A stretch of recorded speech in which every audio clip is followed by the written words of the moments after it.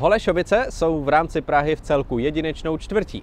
Ze tří stran je totiž obepíná Vltava a navíc ještě na jihu tvoří velkou překážku letenská stráň, kterou musí většina cestujících objíždět právě podél Vltavy. Nejvtipnější obavy tak nastaly před pár lety, kdy se ukázalo, jak špatně je na tom technicky Libeňský most. Jeho uzavření pro motorovou dopravu samo o sobě znamenalo velké dopravní komplikace a už se jen potichu šuškalo, že blízký Hlávkův most na tom není o moc lépe. Obavy z uzavření obou mostů zároveň už jsou naštěstí překonány a naopak nám v blízké budoucnosti září další dvě mostní stavby. Jednak pěší lávka přes Štvanici, která už za pár měsíců pomůže skulturnění všeho přilelého území, a druhá takzvaný Rohanský most, který by měl toto spojení zpřístupnit i pro tramvaje a auta. Ve hře jsou aktuálně dvě varianty vedení Rohanského mostu. A to buď to hned od rohu Holešovické tržnice, přímo od stávající tratě z Palmovky ulicí Komunardů, nebo o jednu ulici dále po proudu s názvem Na Maninách. Na Kalínské straně by poté ústil buď to u metra Křižíkova, nebo opět o ulici východněji.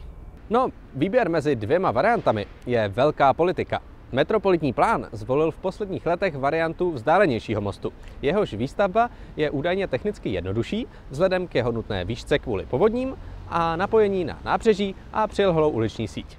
Opačným hlasem se nicméně ozývá občanská iniciativa holešovických obyvatel, která upozorňuje, že most v západnější variantě je ohleduplnější k okolnímu bydlení a navíc třeba výrazně levnější. Zajímavé počtení na toto téma naleznete třeba na jejich webu. Posledním zajímavým střípkem je návrh linkového vedení. Po mostě má totiž dle Ropidu jezdit pouze jedna nová tramvajová linka s číslem 29, která nabídne spojení smyčky Trojská a hlavního nádraží.